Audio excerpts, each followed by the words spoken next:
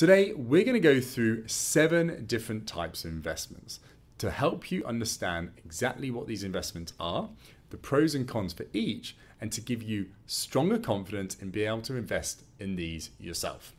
So, let's jump in. Hi, my name is James Coursier, and welcome to the Money Paradox podcast. Yes, that is right uh, we're going to be talking through seven different types of investments. So you can understand better what these are and what really makes them up, how they different to each other, right? So so you can get a better handle around them and invest in them yourself if it fits your situation. So the first one, stocks and shares. So that is basically uh, each company out there has the ability to uh, list their company on what we call the stock market. Not uh, every company can do it. There's certain requirements and so on, um, and that's too much for for this for this video. But essentially, a company can list its company on a stock market, and by doing that, it allows anybody to buy a piece of that company. And when you buy that piece of company on the stock market, you have a share in that company. So if that company goes up in value, you make money. If the value of that company goes down, you lose money. Okay, super simple and you can invest in like one particular company or you can invest in uh, a bucket of different companies a collection of companies. So for example you can invest in apple right? Get a piece of apple and if apple's value goes up you make money. Or you can invest in say the FTSE 100 now the FTSE 100 is essentially the highest the top the, the, the top 100 valued companies on the UK stock market that's literally it. Or the London stock market, hence um, it's on the London Stock Exchange.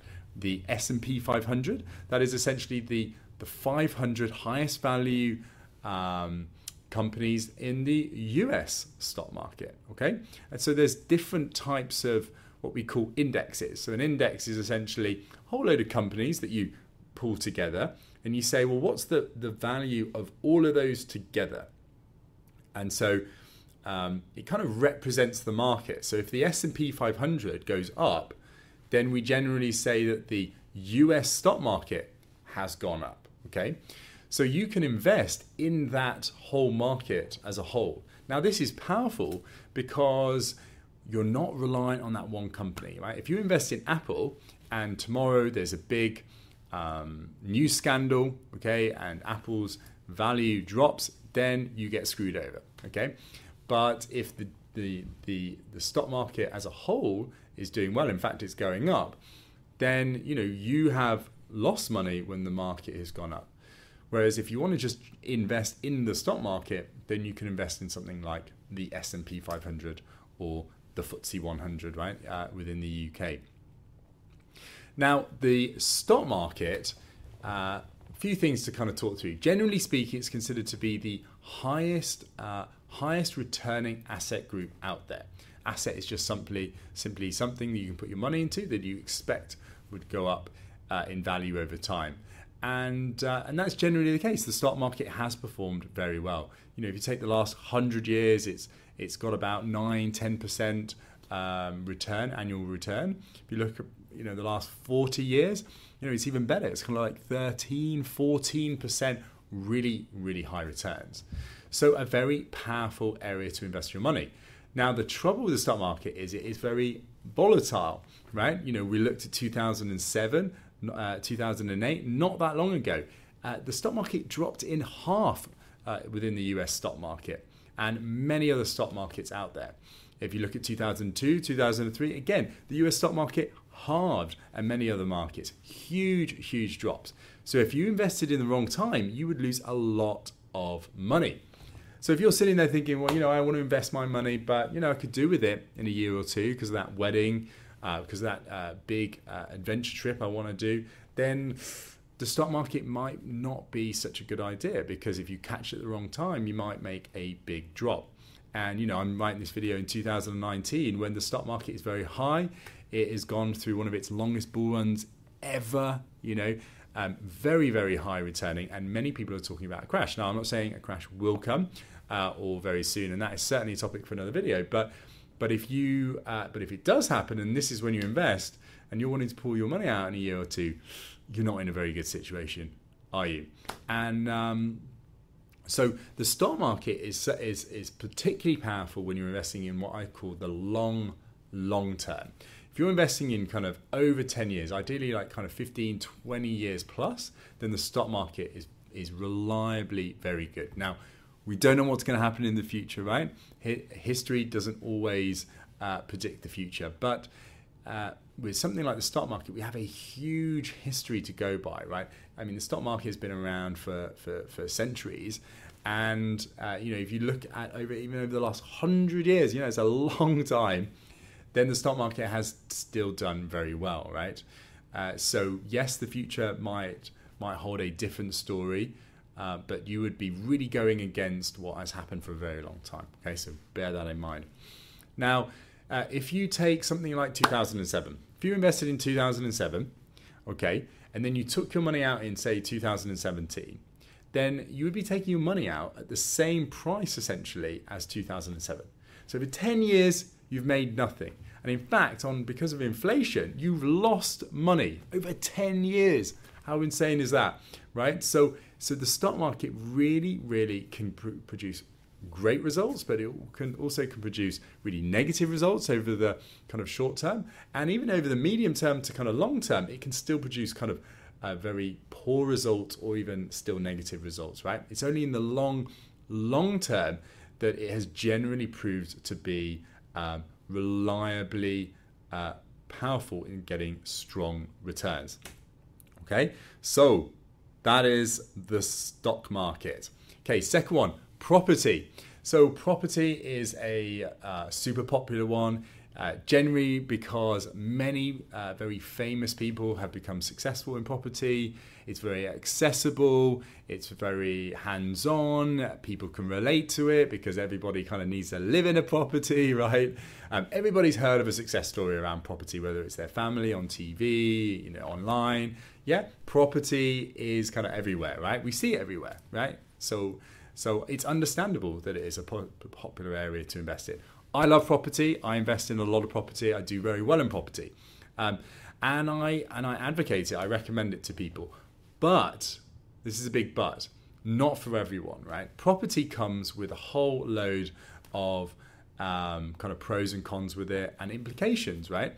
If you're investing in a property directly, then it's an area that requires you know a certain level of skill and there's different levels of how you can invest in but there's a lot that goes on within property right a lot of things can go wrong and you're buying something that has a very high price high very high value that you're buying it for so if something goes wrong you make a mistake you could lose a lot of money you know thousands tens hundreds of thousands of pounds just on one property if you make uh, the uh, you know the not the right kind of mistake, but uh, certain kinds of mistakes. Okay, and I've seen this. I've seen this with people I know, and I've been very close to it myself. Right, so be warned. Right, property is a really, really great area to invest in, but it doesn't um, come without its risks.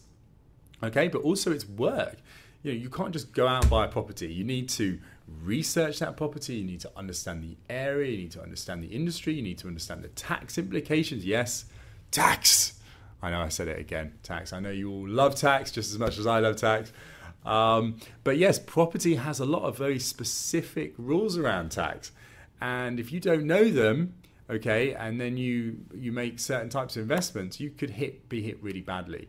Certainly in the last few years within the UK, a lot of tax changes have come in, which mean that property um, is a lot less profitable, a lot less beneficial in certain situations because of tax. Yes, you're right.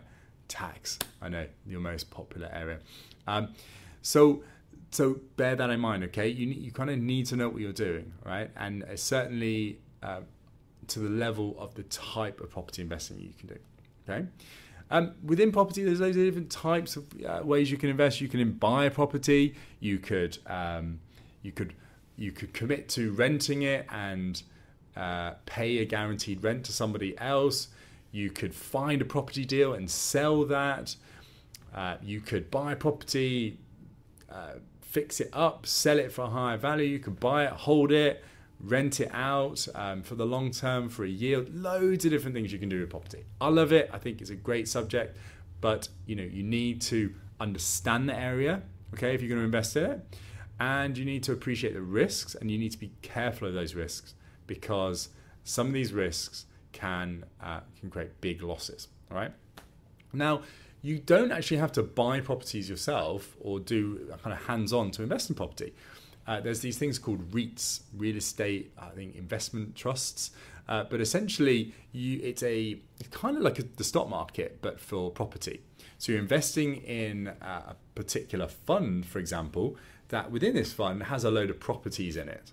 Okay, so you buy a piece of that fund, you buy a piece of those properties, right? So if you feel that, say, the UK stock uh, stock market, the UK property market is going to do well over the next few years, right? What you could do is you could buy a fund, buy kind of a portfolio, buy a piece of a fund that has a load of UK properties in, so that if those properties go up, then the value of that fund goes up, and then you the the bit that you own will go up in value, and you make money. Okay, so you don't actually have to do it yourself, hands on. Um, you can invest in something that is um, much simpler, effectively. Okay, now there's a whole load of things I could talk to you about property. I love property. There's um, there's there's lots going on at the moment, um, and ha- uh, around uh, Brexit, around um, around around kind of uh, what, what do I want to say? There's a lot going on within property uh, at the moment because market changes are affecting this important area. Certain areas are doing really well, other areas are doing not so well, or actually going down in a lot of value. So, again, a, a key thing with property is that no area is the same. Okay, if you invested in, say, within the UK, London versus uh, Liverpool versus Aberdeen versus Edinburgh, those areas are performing completely different to each other. Okay, and there's uh, very specific reasons for why those areas are doing well or not so well. Okay, so the area you invest is uh, is particularly important. Same with countries, right? What's going on in the US versus the UK? Completely different economic situation, uh, and how and how that is impacting the property market. Again, uh, fundamentally very different. Okay, so be mindful of that. Okay, it's about location as well, not just about the area uh, in general. All right, so that's property. Next one is gold, right? So gold is essentially a store of wealth, right? So, I mean, it used to be used as a currency, and you know, many uh, currencies were backed against the gold, right? But uh, but now it's kind of a, a, store of wealth. It's some. It's an alternative to putting your money uh, uh compared to cash, for example. Now there there has some functions for it, like jewelry and in certain kind of um, machinery and things. Um, but the the how to explain it? The value of gold relative to the value of its like functional use is is is quite different. The value of it is much higher than its functional use, and that's because we've inflated the value due to its view, due to the market's view of its store of wealth. Okay, so that's a very complicated way of saying effectively the value is derived by people's um, view of its of its um, benefit of storing uh, value. Okay, so for example, if if the market is not doing very well and people are worried and the economy is going to go down or um, inflation is going to go up, so the value of cash is going to go down, right? Then what people will do is they will they will seek what we call a safe haven, something that is safe that shouldn't um, be affected by value um, in these uncertain times or these or these uh, difficult times. So often people move money into gold. And so when we move money into gold, what happens is the demand for gold goes up relative to the supply of gold that's out there. And so that demand versus supply means the price of gold goes up. So effectively, if we shift to that situation, the value of gold goes up. Okay. So the value is is kind of like demand supply based effectively. Uh, the other way is around the supply of gold. Re- one of the reasons why gold is so popular for a store of wealth is that there's a limited amount out there, right? So we're still mining gold out in the out in the world, right, in different locations, but it increasingly becomes more and more difficult to find it because there's only so much gold out in the world, okay? So if you have a bit of gold, then you have a bit of like a finite resource. Does that make sense? You can't just you can't create gold out of, out of nowhere, right? You have to find it from the ground or you have to take it from somewhere else that is already using that gold. Okay? So so if all of a sudden somebody discovers a huge amount of gold under the earth and is starting to mine it up, okay, and if it's substantial enough, the supply goes up relative to demand, and therefore the value of gold goes down. All right. So generally speaking, it is a good thing in certain times when people feel that the economy is doing poorly or it's um, high inflation, so the value of cash is going down over time more. People will move into gold generally to uh, to store into something that feels safe, and that will push the value of gold up. Okay, so that's a general concept. So it's a good thing as a kind of almost like a diversification, uh, like a hedge, something to protect yourself against something else you're investing that's doing well when the economy is doing uh, that does that does well when the economy is doing well. Right, stock market goes up when the economy is doing well. Gold uh, kind of doesn't necessarily do so well, right? But if the economy does bad, stock market drops, but gold can go up in value, right? So it's kind of like um, protection against one going down or up. All right, so that's gold. Fourth one, bonds, right? So you've got different types of bonds. You've got government bonds, you've got corporate bonds. So let's jump, let's kind of explain that. So government bonds are effective. A bond is um is a loan, right? It's a piece of paper that says I owe you, I owe you some money in the future plus a bit more money because you've been really nice and you've lent me this money effectively, right? Uh, I don't know why you use the word bond. It you know it's really confusing for a lot of people that don't invest or are not uh, super experienced in this area. But a bond is just a piece of paper that's kind of like an IOU, just like a loan. So a government bond, if you if you um, have a government bond, it's like you've lent money to the government, and the government is giving you a piece of paper saying, "Thank you very much for lending us this money.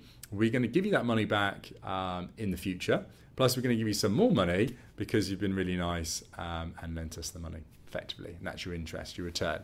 Okay, so government bonds uh, is that corporate bonds is effectively the same, but for a company. Okay, so you could go to Apple, say, say, oh, you know, here's 10 grand, right? Uh, borrow 10 grand off me. And then, you know, in a few years' time, give me it back plus give me some interest. Okay. And then Apple say, yep, sure, give me the 10 grand. They give you a piece of paper saying, I owe you this money plus a bit more on top, right? Government corporate bonds. And then you have long term, short term. So effectively it's a loan but you can have a loan that happens over months or years or 10 years 100 years right?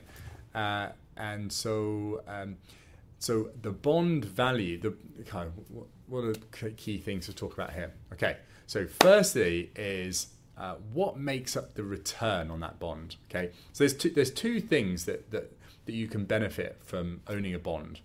One is that uh, the government will say, right, okay, I want to, I want, uh, lend me some money, and in the future, I'm going to pay you that money back plus some interest. Okay, now you you make a benefit from that interest, right? That's a bit on top of the money you've lent, but it kind of comes down to risk because if if you're lending it to say the UK government, right, or the US government, then it's like extremely unlikely that that government is not going to give you that money back. Okay you know, what's the likelihood that the UK or the US government is just going to like just not give you back, renege on giving you that that money back? It's possible, could happen, but if that happened, then it would have to be in some really, really difficult circumstances. It's never, well, has it never happened? Well, certainly, um, if it has happened under extremely rare circumstances, that that has happened, right? So, uh, what to say here? If you're borrowing, if you're lending the money to someone that is extremely unlikely to pay to, to not pay you back, then the return is going to be very low because the risk associated with that is very low. Okay, so bear that in mind. So if you want a better return, you might want to lend to a perceived riskier um, government or company, right? So if a company is struggling, or uh, you're lending it to a, a, government that is particularly struggling, or the economy is do, like, not doing so well, then what it will do is it will offer a higher return to convince people to lend them money because without that higher return, it's not worth taking that risk on. Okay. But for you to get a higher return, you're obviously taking that high risk. So you need to be mindful of that. The other thing you can benefit from is the increase or decrease of the value of that bond.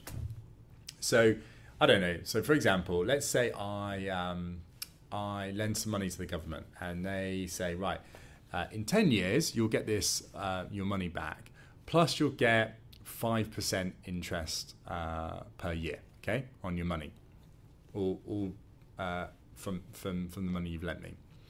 Now, okay, great. So they've issued me that bond. Now, let's say a year later, uh, they are doing um, they're doing much better, right? They don't need to lend the money so much. Um, people are much more willing to lend the money because um, that's what they want to invest in. So instead of offering 5%, actually now they just want to offer 3% because at 3%, they can get more than enough people to lend them money and um, and they don't need it so much, right? So now the market, okay, sorry, the government is offering 3% bonds and I've got a 5% bond. So my bond is worth more than the bonds that are currently being issued out there. So the value of my bond now has gone up in value because people want my bond more than they want these other bonds because they're producing a less return. So if the it's kind of confusing, right? But if the the the return that bonds are offering in the future go down, the value of the bond that you already have goes up. Okay?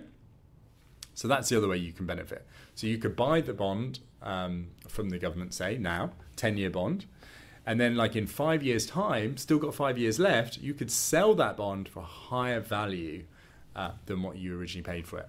Okay? Make sense? That's simply it. Okay, next one. All right, a bit more rogue, a bit more kind of re- relevant to what's going on at the moment. Cryptocurrencies. Okay, so cryptocurrencies is essentially it's investing in. Uh, it's kind of like a oh god, how to explain this really simply. Um, it's effect. Oh, I, I, want to be careful not to say the wrong thing here, but effectively, you're um, buying. It's kind of like a digital asset, and there's a whole load of debates over what it is. Is it an asset? Is it a currency? What is it? Well, generally speaking, if you take Bitcoin, which is the most famous one, Bitcoin is generally considered to be, at the moment at least, an asset rather than a currency. And that's because it's quite expensive to transact in.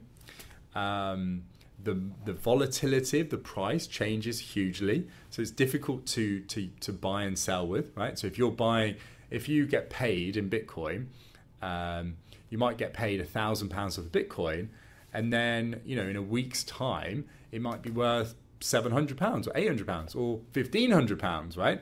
And so then the amount of money, the amount of things you can buy with that with those Bitcoin vary hugely. So it becomes not a good way to to receive money and then to buy things with. Okay, people people do at the moment, um, but it's still quite niche because of that issue. And then the third one, it's a bit complicated to handle, right? It's um, it's slow to transact. You've got to go on various um, specific uh, places to to get those that currency to change it, right?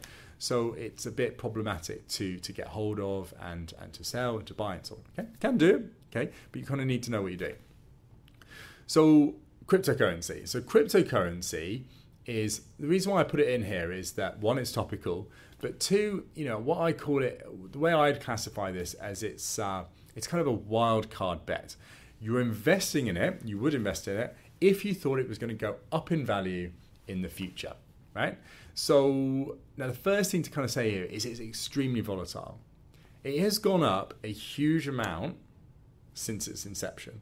Okay, so if you invested in the first few years it had um, come on board, then you would have made a huge amount of money, right? If you sold today. So that is very captivating to a lot of people. Like, oh, if I invest in Bitcoin, I could make all this money, like so many people have done already. Okay, sounds uh, very enticing. So I can make these huge amounts of money in a very short period of time.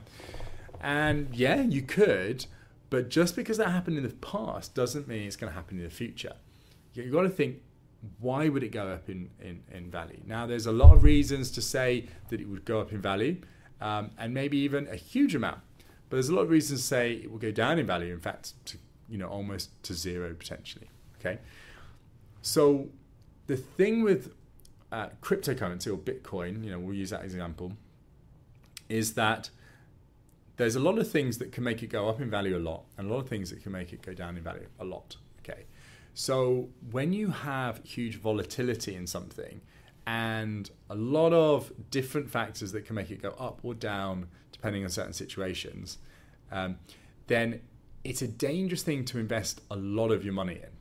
Right. So if you were to invest in it, it's uh, it's you know these wild, it's what I call a wild card bet. You know, if you go to invest in something like Bitcoin and cryptocurrencies generally, you only want to be investing a small amount of the overall amount of money that you want to invest with.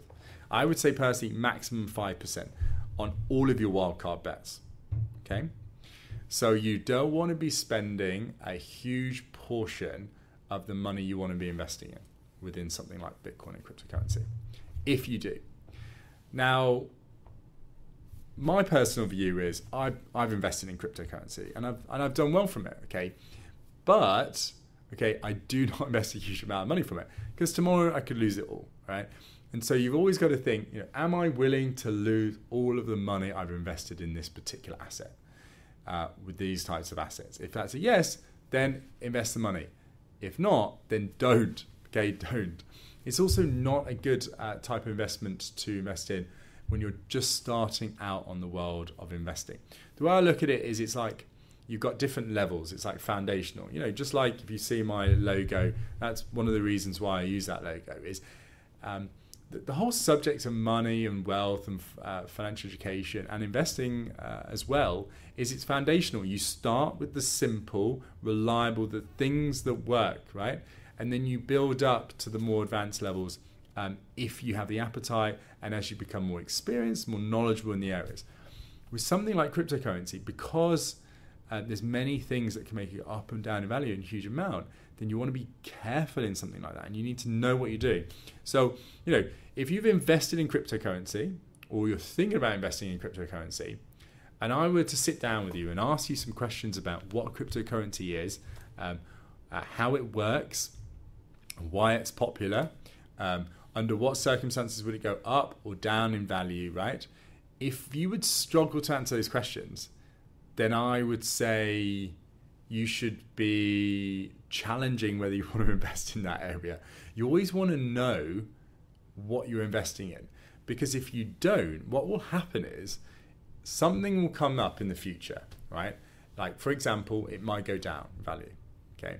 And if it goes down in value um, abruptly, and you don't really understand what it is or why it's happening, why that thing is happening, then it's going to feel very emotionally destabilizing. You're going to think, well, what's going on? Why has it gone down in value? Should I should I sell? Um, uh, you know, um, you're, you're not really going to know how to deal with it, and it's going to affect you quite considerably. But if you generally understand that subject, then when something happens in the future, it goes up or down, then you've got a better under, you've got a better um, likelihood of being under being able to understand why that's happened, and then also be able to handle that change. Okay, right? Make sense? All right, good. And then the last thing is it's a kind of longevity. So when you're investing, you got to think like, why am I investing in something?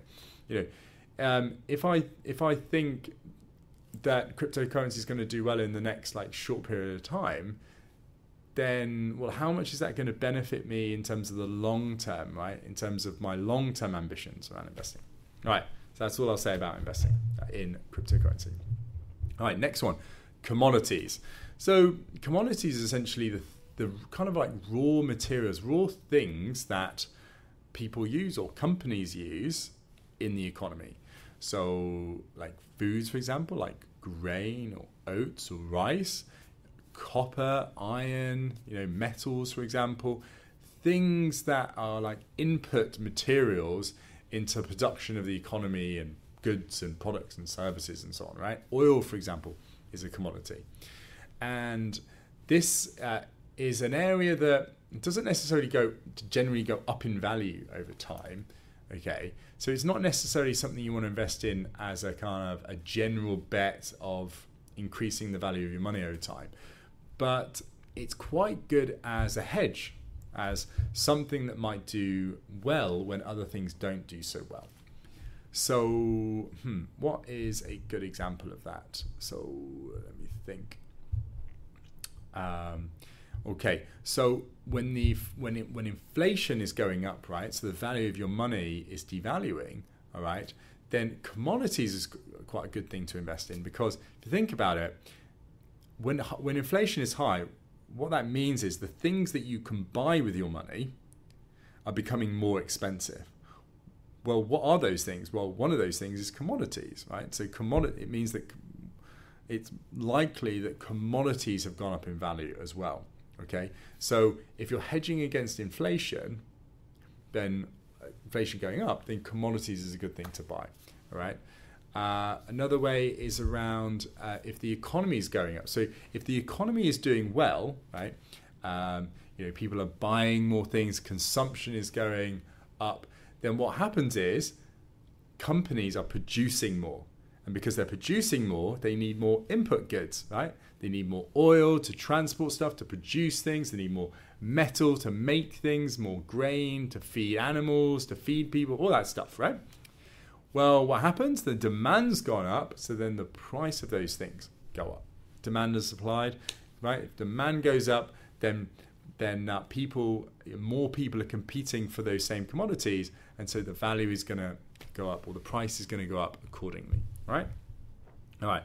Last one. This is kind of um, kind of an asset, but it's more like a, a type of a way of investing, and that's peer-to-peer lending. I thought I'd bring this one up because you know it's quite popular now. You see it a lot, uh, certainly online. Um, you know, people are kind of talking about a lot more. Peer-to-peer lending is simply peer-to-peer means like person to person, right? So traditionally, if I wanted to uh, borrow some money, right, to set up a company, right, for example, then I'd go to a bank and I'd say, well, bank, can I borrow £10,000 and invest in my company? The bank like, yes or no, this is the interest rate and so on.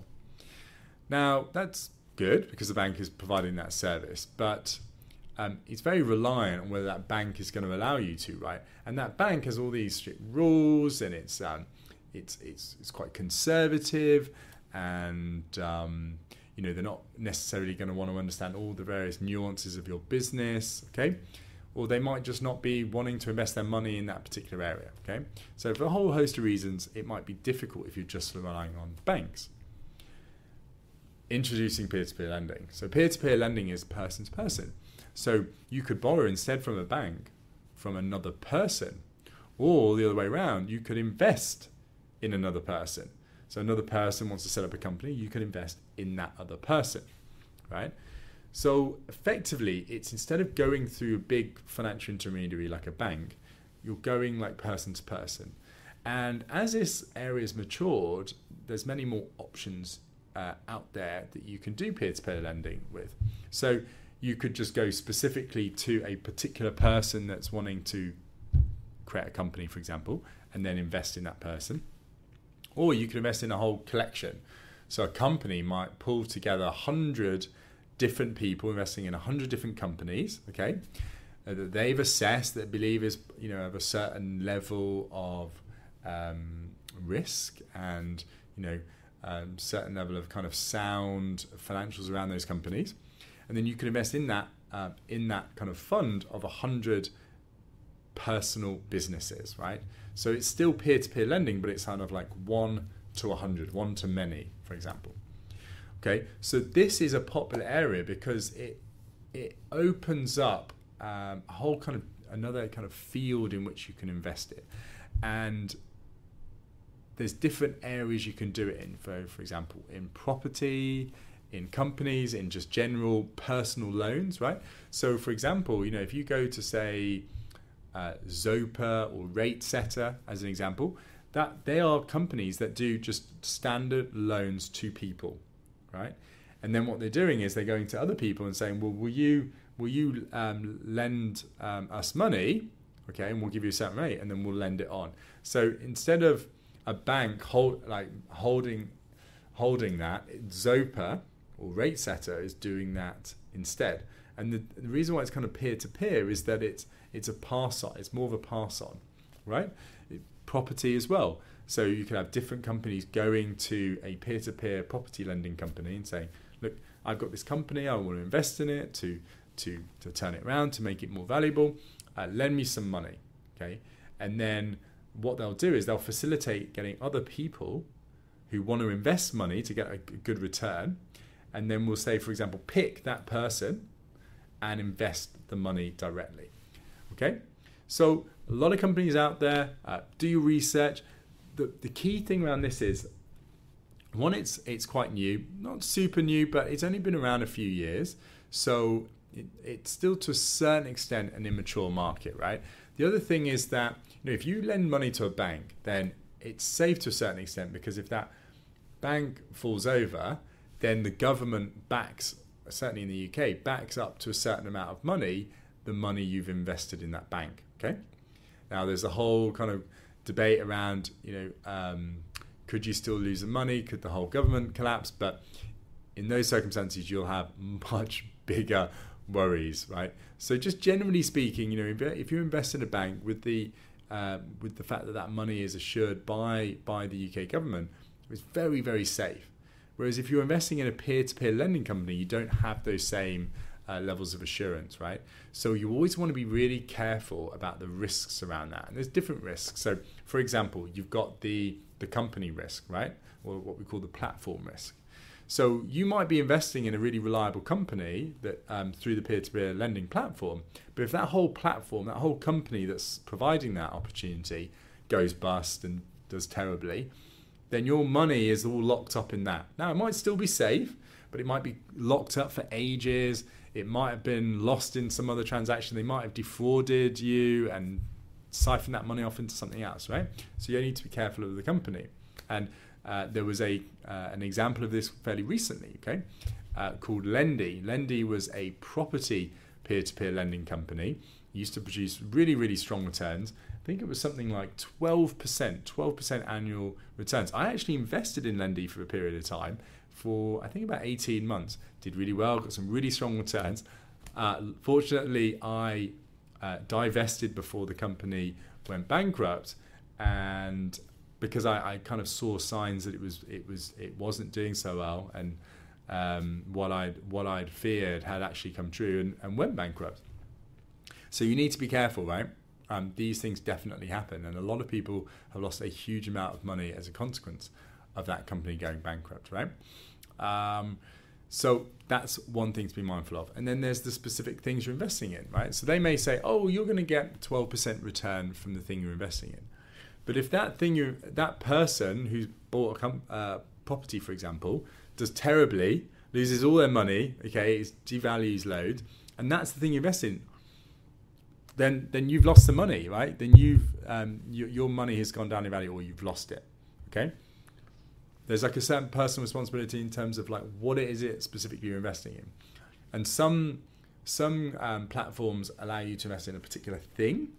Other platforms allow you to let invest in a more uh, a bigger kind of portfolio, a bigger like bucket of different stuff.